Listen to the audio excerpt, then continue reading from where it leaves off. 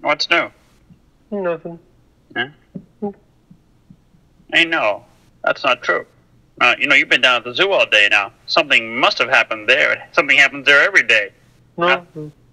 Nothing happened there today. No? Nothing. No, not today. Huh. Oh. Oh, wait, wait a minute. Wait a minute. I, I got a teeny weeny scrape on my finger here.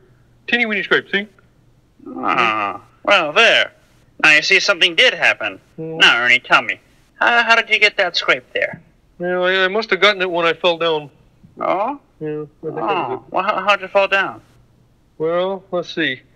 Uh, that must have happened when I was running away from the dog. No, Yep. Oh, the dog. Mm-hmm. Oh, why was the dog chasing you? Well, he wasn't chasing me. See, I thought he was, but he was just running away from the tiger. Oh, there's a tiger. Well, what was the tiger running around loose for? Well, the monkey opened his cage by mistake. The, the monkey? Oh, how did the monkey get loose, for heaven's sake? Well, that's easy. See, he got out when I was trying to put the, the rabbit in his cage. now, hold it. Now, wait a minute. Now, wait. Why are we trying to put a rabbit in the monkey's cage? Well, with all the elephants running around loose, I didn't want him to get stepped on. The elephants? Sure. What were elephants doing loose? Well, the hippopotamus was loose. Why not the elephant? The hippopotamus? Now, all right, Ernie. All right. Now, how did the hippopotamuses get loose?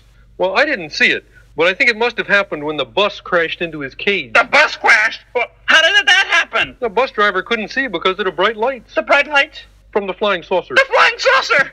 Uh, now, look, you were saying a minute ago that nothing happened to you today. Well, I was wrong, Bert. I should hope so. You know, I got a teeny weeny scrape on this finger.